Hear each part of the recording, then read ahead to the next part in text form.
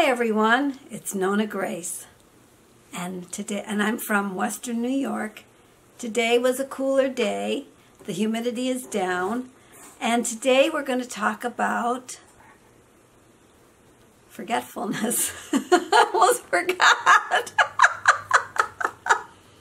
oh, good grief. Oh, but at first I have other things on my mind. It's gonna it's kind of like a, a notebook news kind of thing going on here today too like I wanted to do a little shout out and I'm going to do it at the beginning because a lot of times people don't watch to the very end and they would miss it. Well, today I was watching Barb from, I have to look up her channel because people change their names to Take, Be Take Control Beauty. Barb from Take Control Beauty. She was talking about necks and how to keep your neck looking very nice and young looking. And I'm looking at my neck and, you know, I could use a little neck lift at times because I have the looser skin, but I do have nice neck. I do, really. Okay, so that's my little shout out. It's for Barb. Um, Take Control Beauty. And uh, she she does, um, she, she really, uh, Barb, I got to talk about Barb for a minute. She does stories on um, spirits sometimes which are very interesting. The way she tells the story is what I think I'm fascinated with. Not so much the information sometimes, but even the information keeps you on your edge of your seat. And she also does cooking with her granddaughter, Bella. And Bella sometimes will do a little intro for her. And um, the last time she did a little cup song for her intro when they were going to cook.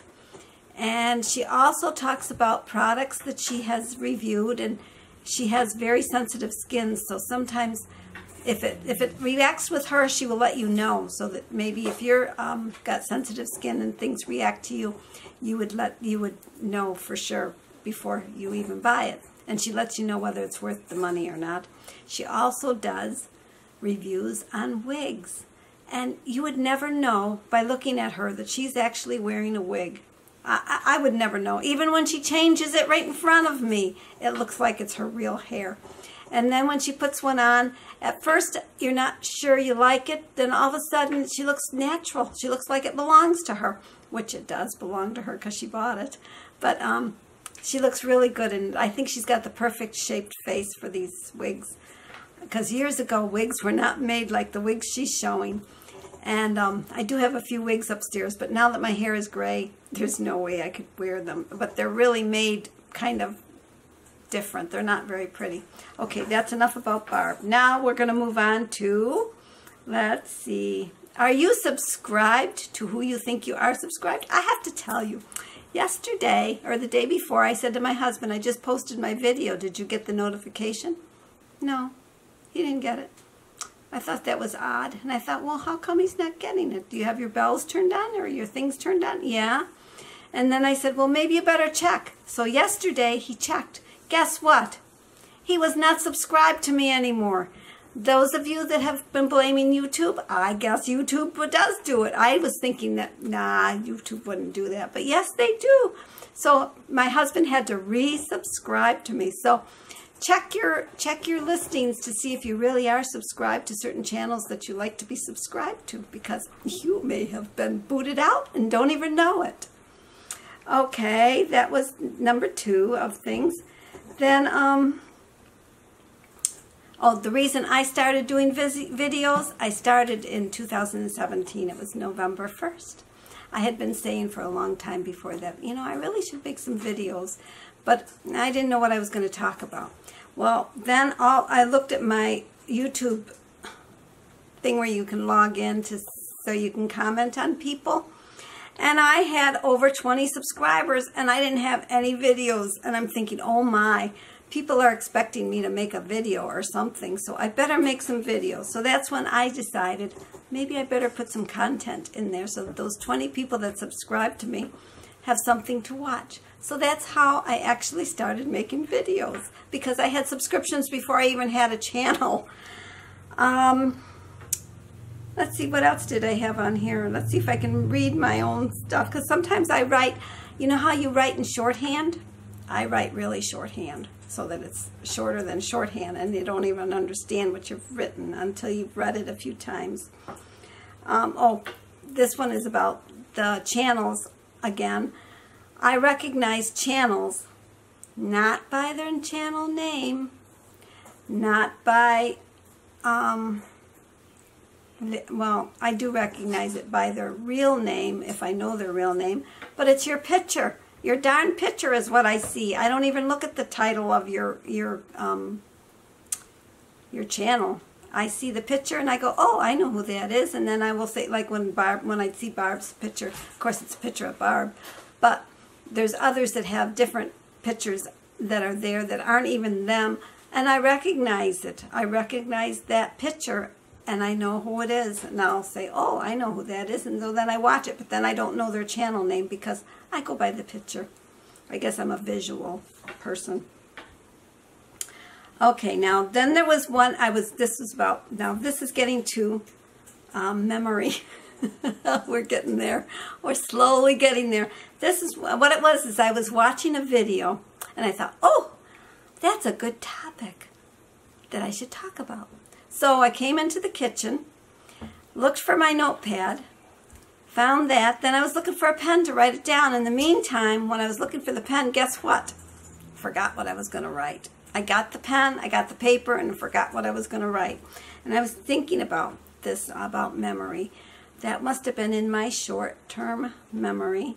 And it only lasts in your short-term memory for 15 to 30 seconds. Well, I must have been on the short end of that 30 seconds because it didn't stay. And if it stays longer than 30 seconds, then it goes into your long-term memory and you would remember it. So that was something that I was thinking about. Um, then I was thinking about, gee, what, what else means that I have short-term memory? Well, short-term memory, you can only hold, let me find out. I wrote everything down because I can't remember anything. okay, you have four to seven pieces of information that you can keep in your short-term memory at one time. So mine must have been, that must have been thought number eight, trying to sneak in there because there was no room for it and it fleeted really fast. And um, in short-term memory, a lot of times the, the short-term memory things are like if you misplace your keys or you misplace objects. Those are short-term memory things. So it's nothing to worry about. That's natural. And um, if you are reading and you don't remember what you read, that's okay too. Why you went into a room, you don't know why you went in there, that's okay too. These are all okay short-term memories. It doesn't mean your brain is or your mind is going. You're still okay. Um, if you call somebody by the wrong name, like a lot of times parents will say, like um, my mother would call um, Joey, Laurie, Anthony, Mary, Grace, Anita, and Lucy. Oops, a daisy. You know, my name's wasn't in there.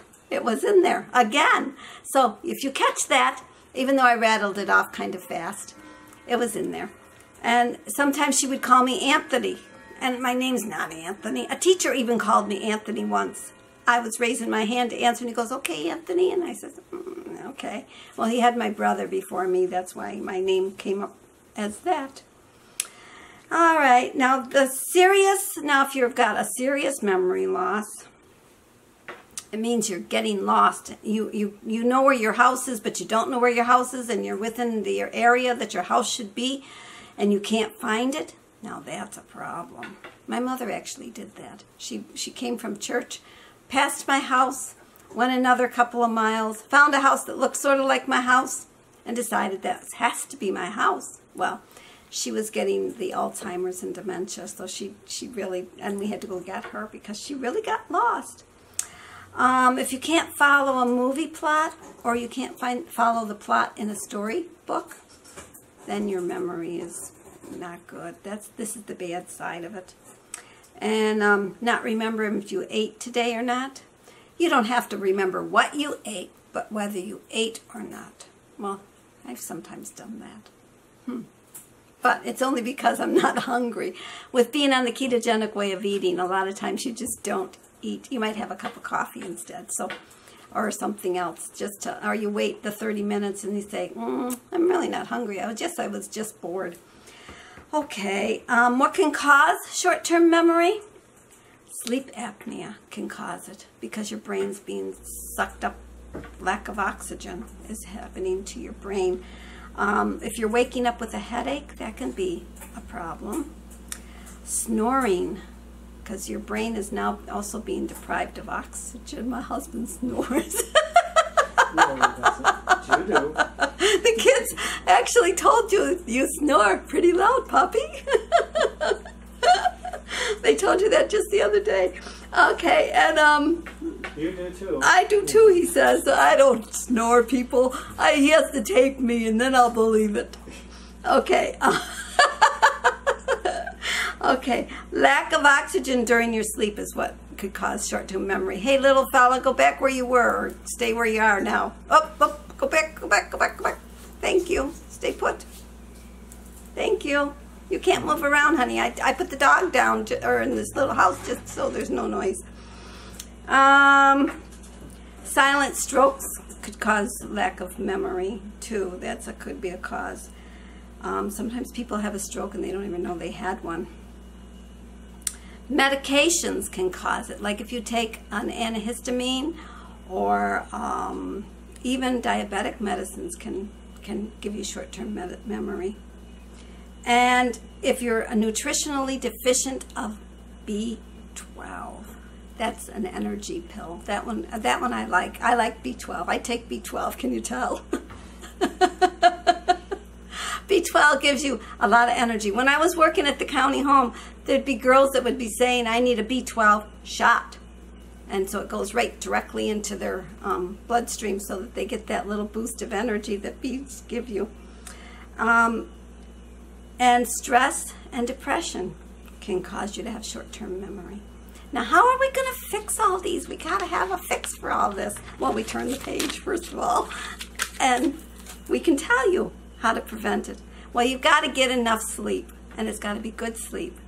And hopefully you don't snore while you're sleeping because that would just take away the oxygen that you needed.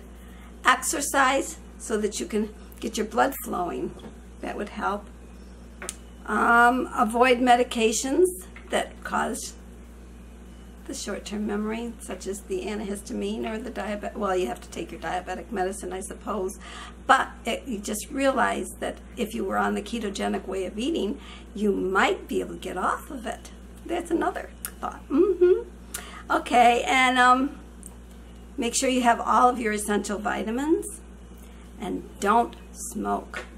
Smoking can make your brain lose oxygen too and that will give you more of a short-term memory. And if you're a heavy drinker, oh good grief, you're going to get short-term memory six years earlier than us that don't drink. Okay, that was my talk for today. I hope you got something out of it.